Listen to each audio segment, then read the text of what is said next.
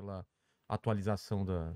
É, então, por exemplo, atualizando, os Dez Mandamentos fala do adultério, né? É, Isso é, não, que é errado. É, a gente tirou isso, não tem Não como também pode seguir. adultério. É, agora a gente atualizou que pode. Talaricagem tá liberado. É, atualizou que pode, né? Só não pode a, a mulher do apóstolo, que isso aí já é errado. A gente colocou adultério se, é, se for a mulher do apóstolo. O resto, o resto pode. Porque também nos dias de hoje, né? Eu tenho 7 bilhões de pessoas no planeta É. Terra, né? Às vezes o homem escorrega que cai no chão, trai né, a mulher. Acontece. É, até porque é uma coisa que eh, nós teólogos estudamos, o homem ele não tem imunidade contra a mulher gostosa. Não, não. Não, não tem imunidade. Cara, é verdade.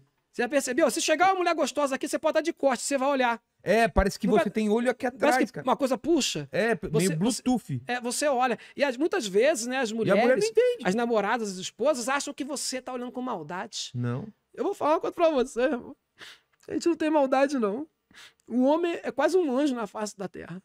Quase um Concordo. anjo, né? A gente não olha com esses olhares maldosos. As mulheres às vezes olham, nós não. É. Né? A gente olha por curiosidade, a gente chegou assim, a gente olhou aí, caramba, o que é que tá acontecendo ali? Uma paniquete, né? A gente tem isso, né? E as mulheres, às vezes, por não serem evangélicas, não conhecer a palavra, briga com a gente, né? Porque não sabe que a gente não tem imunidade contra isso, né? Ainda não surgiu uma vacina, É. né?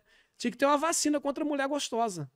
Você toma uma vacina, pronto. É. Acabou, você nunca mais vai adulterar nem nada, né, irmão? E acontece milagre na sua igreja? Acontece exorcismo? Como Ah, que é, é o culto? É, a gente, a gente tem a nossa igreja, uma das igrejas que mais fazem milagres. Ah, é? Uma das igrejas que mais fazem milagres, né? Eu vejo muito na televisão, assim, cura de caroço, né? É, É, ah, acontece tá- muito. eu não sei, que- é, parece que tem uma pandemia de caroço na- É. em certas igrejas que os irmãozinhos já chegam tudo encaroçado, né? É. É, parece aqueles mingau que você não mexeu direito, fica cheio de caroço. Vocês, ah, tem um caroço aqui sumiu. Não, a gente faz uma coisa muito mais avançada, né? A gente tem, tem casos até de, de quase ressuscitamento. É mesmo? É, quase. Tipo se- Lázaro? Se, se tivesse ressuscitado, teria ressuscitado, mas não ressuscitou, mas foi quase, né? Que, o, que é o quase ressuscitar? Continuou morto, né, irmão? Então, mas, mas eu